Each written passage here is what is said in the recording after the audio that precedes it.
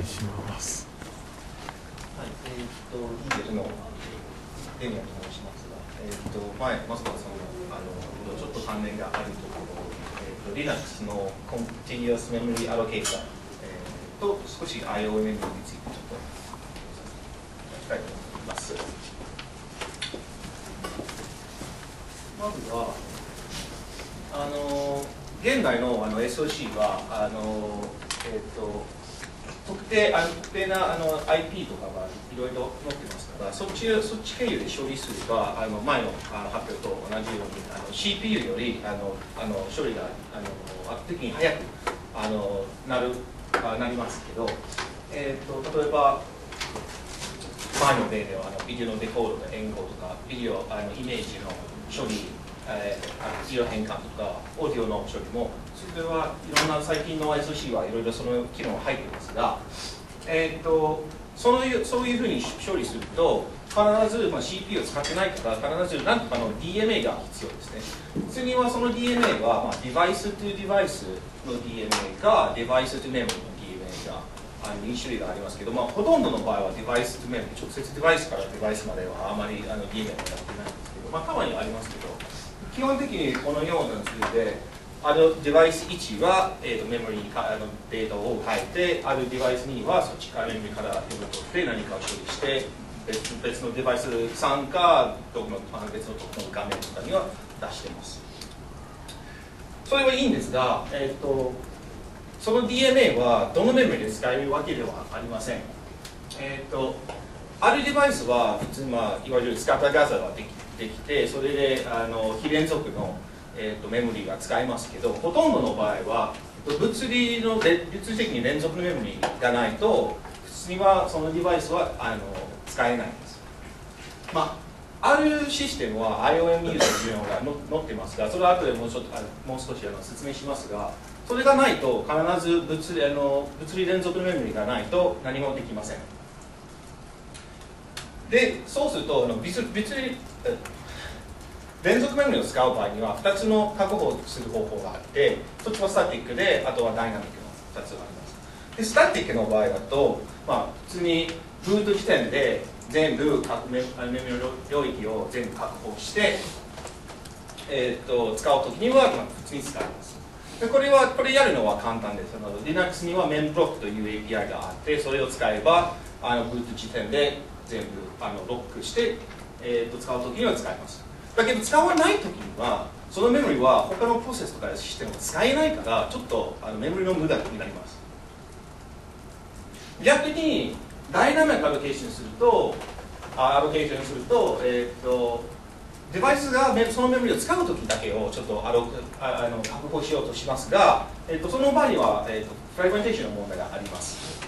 フラグメンテーション問題というのは例えば、えー、とあるシステムはその赤い棒はえー、と空いてるメモリーを表してますけどただあるシステムはすごい空いてるメモリの量が結構多いのに、えーと、メモリのアロケーションによって例えば30%のメモリを取りたい場合があったら、えーと、取ろうとすると実はメモリのあの空いてるとあの空いてるところは90%以上があってもアロケーションによって取れない場合もあります。メモあのメモリフラグメンテーションのもの。でそっちのかあの対策は新しいあのできた Continuous Memory Allocator というあのものです。Contiguous Memory Allocator っていうのは、えーと、スタティックのアロケーションとはちょっと違う違いますが、あのダイナミックあののアロケーションともちょっと違う、その間ぐらいの,、えーと、の問題のころですね。で、スタティックの場合は、まあ、前、えーと、説明した時には、えー、とブート時点でスタシステムスタートからシャッターまではそのブロックを取ります。が、えー、と一方、えー、と CMA メモリの場合はブートの時には一応そのサイズだけを定義しますで、えーと、例えばこの場合はマルチビデオの例ですがマルチビデオを使って使ってない時にそのメモリはシステムは普通に使います、まあ、普通にというのが、えーと、例えばスワップファイル、えーと、スワップできるメモリとして使います。Nmap されたファイルとかとしてあので使います。で移動できるメモリページは全部こっちの、えーと、ピンクのところには入るのは全然問題ないです。だけど、えーと、使いたい時に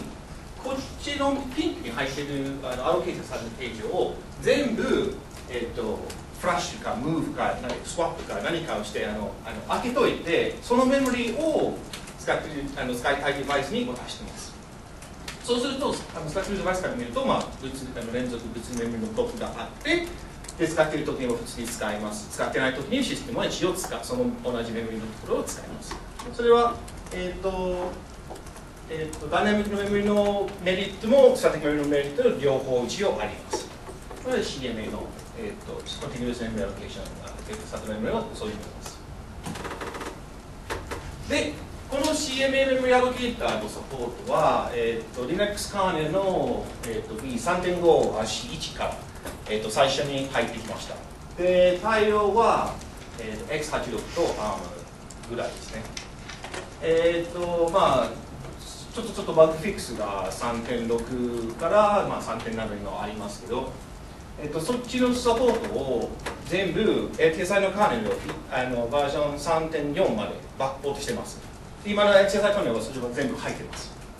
もしあの使いたかったらあの HSI カーネル取ったらすぐ使えます。CMA はあの例えばこっちの CMA のメモリは一つのプールだけではなくてまあ、グローバルのプールがあるんだけど、それ以外にデバイスごとにもあの別の専用そのデバイス専用のプールは一応定義できます。その場合そうそうすると、例えばあるデバイスだけはなんかすごいあの非常にメモリ使ってるメモリの量が非常に多いな多いだったら、それでそのデバイスだけを自分のメモリプール定義すれば、残りのデバイスを全部グローバルのプールすれば、えー、とうまく使えると思います。で、そっちのえーと、CMA、えーと、メモリアロケータであの確保されたメモリはすべてあの DMA マッピングの API っていうのはなんか普通には DMA アロトコヘレント、フリーコヘレントとかそういう API があります。それを使えば普通に、えーと、他の普通のメモリと同じように取れますからえっ、ー、とすでに、えー、と書いてるドライバーは、まあ、全部じゃないんだけどあのこの API 使ってるドライバーが非常に多いだからそのドライバーをししそのそのドライバーは、えーと、何も変更せずに CMA を使います。それで CMA を有効するだけで自動的にそのすべほとんどのドライバーは、えー、CMA を使います。がえっ、ー、とあの前松原さんからちょっと説明したあのユーザースペースからあのアクセスしたいときに UIO ドライバーを使いますけど UIO のドライバーは、えー、と DMA マッピング API の対応はしてないんです、まあ、しませんでした、えー、とディフォルトの UIO デバイスはえーとまあ、物理普通の物理メモリーであのブート時点で定義するだけで、えーと、DMA マッピングの API のアロケート、ディアロケートとかは使ってないんですけどそれに対して新しいデバイスを作りました。後ではちょっと新しいデバイスのどういうふうに作ってどういうふうに使えるかちょっと説明しますが。一応そういうデバイスを使えば CMA のメモリをも使えます。でえっ、ー、と前少し少しちょっと言いましたけど IOMMU というものもありますけど CMA を使うと,、えーと、その物理連続物理メモリが取れますが、えーともし本当に運が良かったらある使ってるあのプラットフォームは IOMMU というのも入っています。で IOMU というのは、えっと、前言ったのがスカッターギャザーをやってくれるデバイスです。例えばあるシステムには1つの、まあ、2つのデバイスがあってそれぞれのデバイスはスカッターギャザーができないんだけどそのプラットフォームに IOMU が載ってるからデバイス1があのメモリをアクセスするときに、えーとまあデバイス1からから見るとあの仮想の、まあ、IOVA が IO Virtual Address の連続 IO Virtual Address Range を使って IOMU はその連続の領域をバラバラの非連続のメモリに変換してデバイス1が普通の非連続に、えーと、メインメモリに書くことができます同じくデバイス B デバイス2はえー、と逆にそっちのバラバラのメモリから IOMU 経由で連続に見え見えてあの連続にあの使います。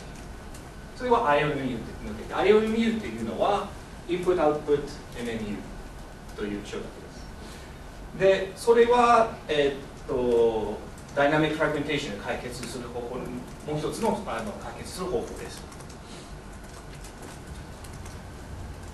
でその IOMU のサブシステムは CMA の対応と一緒に入りましたカーネルに。えっ、ー、と3.4の、えー、すみません3.5のところには DNA マッピングのアップデートがあってそのマそのアップデートの中に IOMU も CMA の対応が入りました。それもあの LTSI の3.4にバックとしてます。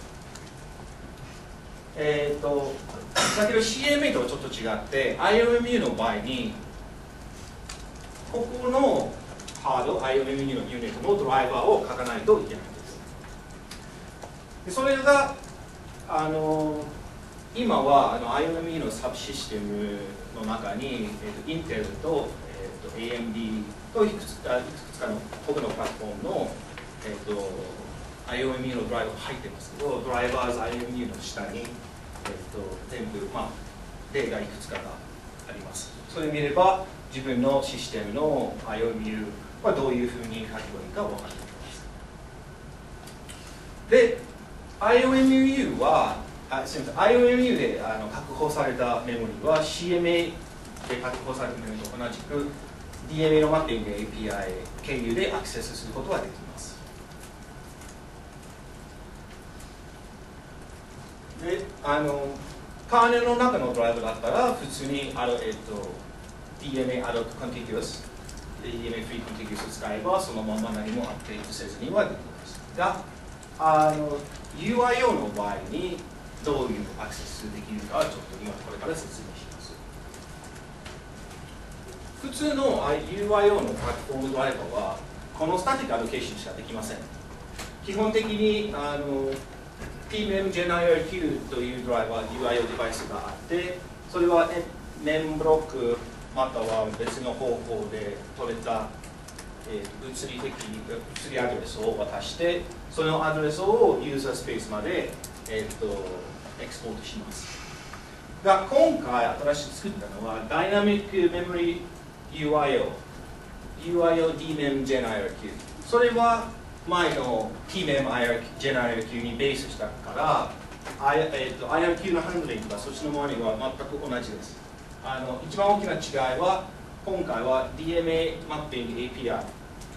対応が入ってて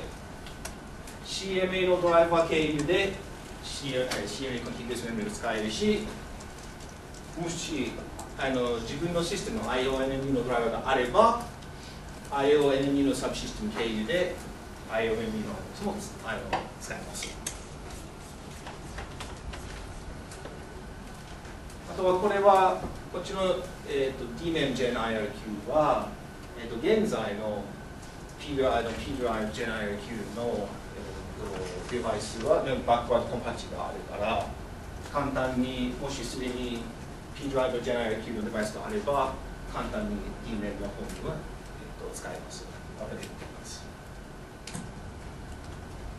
えー、具体的にはダイナミックメモリ UIO はどういうふうに使われているか明すると、えーと、ブートの時点で、えーと、サイズと、えー、ダイナミックリージョンのサイズと数を指定して、まあ、UI 用のスペックでは5個までは定義できます、えー、だけどそっちの5個までを指定すれば UI 用のデバイスを開くときにあの指定された、えーと、領域を全部アロケートしてユーザー、えーとアドレスはこのパス経由でユーザースペースまでエクスポートします。でデバイスをクローズすればクローズするときにあの全部開放します。それで本当に使っているときだけはそのメモリを使っています。使ってないときには何もシステムは他に他で使います。でまとめとしては一番メインポイントは CMA と IOMU は、えーと、とそのダイナミック DMA の対応あのがあるからそっちを使えばダイナミックに、えーと、メモリのあの確保できます。メインラインからに、えーと、3.5と3.6が入ってますが、えーと、それは全て3.4の HSI までバックポートされています。えー、カーネルドライブの場合は何もアップデートせずには一応使いそれを使いますドライバー自体はで UIO の場合にこの UIO DMEM Gen IRQ を使えば UIO でもアクセスすることはできます。では以上です質問。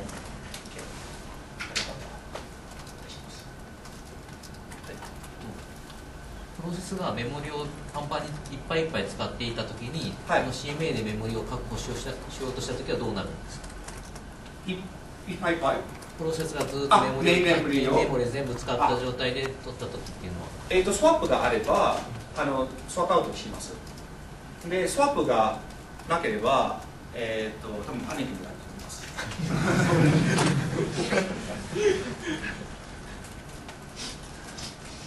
まあパニックに、まあまあ、失敗します実は。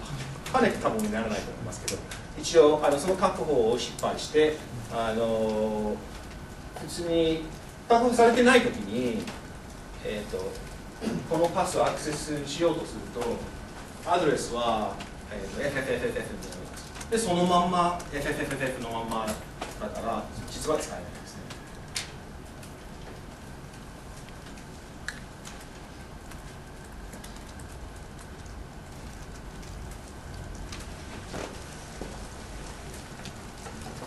あの今朝僕は LTS3.4 ってらっしゃる皆さんにしましたけどこれを使えばメモリの使用効率が上がるから製品のコスト下がるんですよね。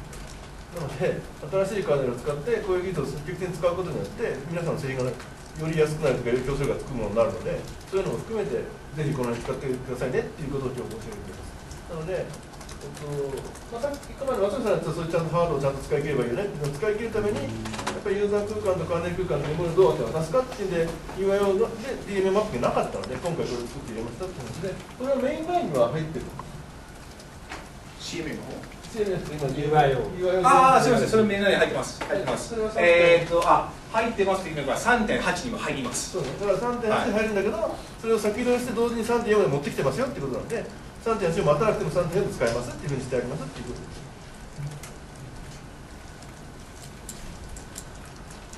あの特別なアーギュメントはなかったんでねこれね。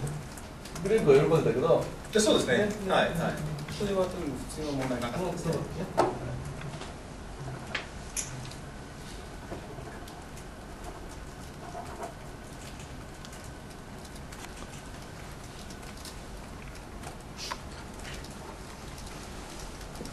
よろしいですかね。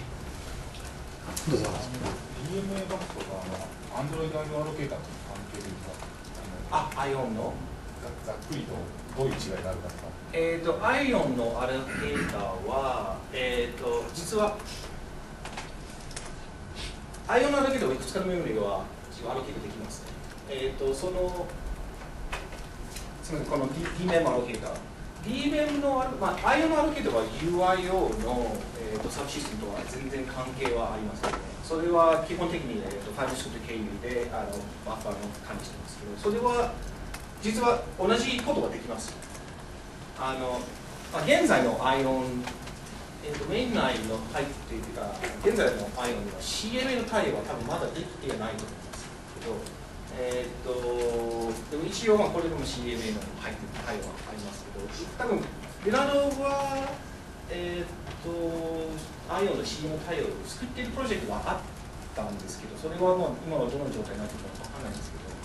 えっ、と、アイオン、これとアイオンとは多分違う方法として考えたらいいと思います。あアイオンはフィジカルコンテナスメモリだけは使ってだけではないんですね。実はあアイオンのあのアイオンはちょっとやっぱ 2, 段階とはとは分かれていると考えてもいいと思います。上の方には、まあ、ユーザースペース側には口を作ってますけど、ファイル、えー、とファイル作った経由ではメモリの管理するんですけど、下の方にはいくつかの、えー、と API が提起してますから、そっちにも入ってる、あのそっちの例えば、えー、とフィジフィジカルコンティティですとか、えー、と別のあのこういうあの CMA とか IO IOM とかのそれはそれはあのフックできます。できるところはあります全部はまだフックされてないんですけど一応、えー、とフィジカルコンティティウスにも入ってます、はい。だけど CMA にもまだ入ってないんです。アイオンはフィジカルバーチャルアドレス変換。ができるそれはユーザースペースまでエクスポートしないです。しない。しないです。あしないです。そう。前のあの PMEM PMEM ではできできてましたけどあのユーザースペースから、えー、とフィジカルえーフィジカルコンティギュースメモリに取る方法がありましたけど今の IAM ではできない。そう、えー、とカーネルのドライバーがあればもちろん、えー、とバルトフィズとかフィズとか使えますからそれで全然大丈夫だけどユーザースペースまでは使えないですそれはセキュリティ対策でわざわざやってるのかね。と思いますね。は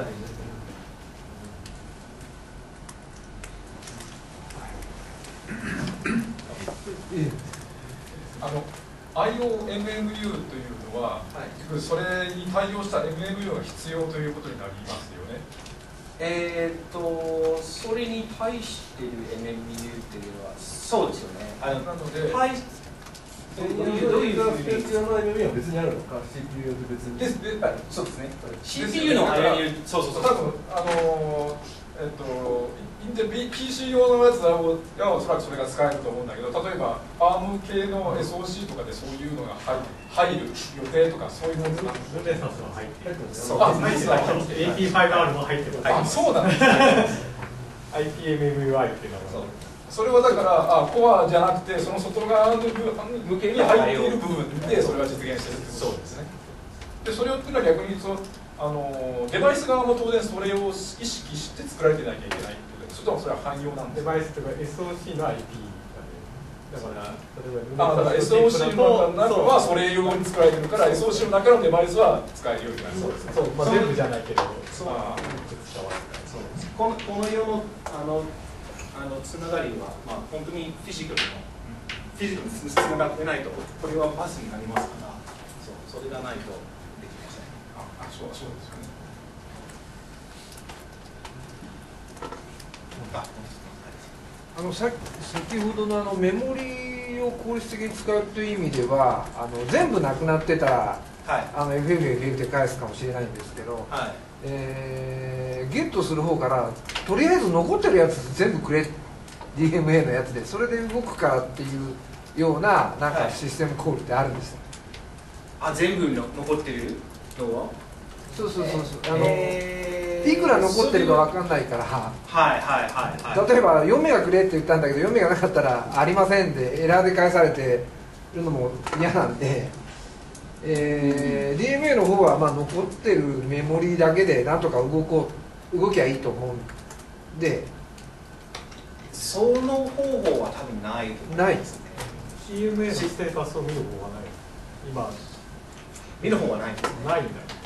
どあどのぐらい入ってる？そうだ誰どのプロセスに今使われてるんじゃいえーっとまあどのプロセスが分からなくても例えばだから CMA でリザーブした分を今どのぐらい他に使っちゃってるかみたいな。多分プロ多分ないと思います。かそういうシスってテムですとか。っていうのは CMA でアクセスする方法は全部その DNA マッピングの API 経由ですよねでその API はそのようなあの口はないんない。ですよそのような定義してないから普通の今までの DNA と全く同じようにあの、まあ、マロックと、まあ、DNA アロッククリーンとかだったらあのおああまりに大きいあの値を足すと、まあ、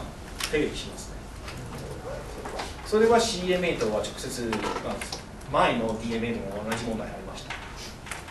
そその点質問だけど例えば 10H のためにバッファーを取ったけど CM で予約するよね、はい。予約しててで普段は他の人がそこ使ってて、はい。10H 再生しようとするじゃん。その時は CMA を使ってる人が追い出すでしょあそうそう。失敗するのは追い出される側なのそれとも CMA を取り物かどっちが失敗するの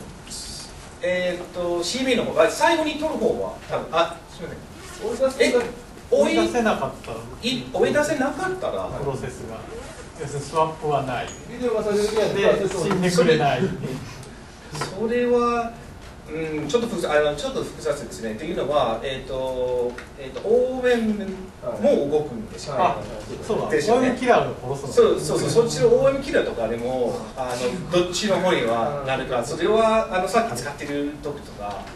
起きるするか、あの失敗するか、だからそれもあワインるから。キラーと CMA は連携しない連携はしないと思い上のプロセスを優先的に殺したりはしない。それは分かりません。それは分かりませんねそれはノーメモリーキラー的なやつがないとプロテクションがないと危ないね。そうですね。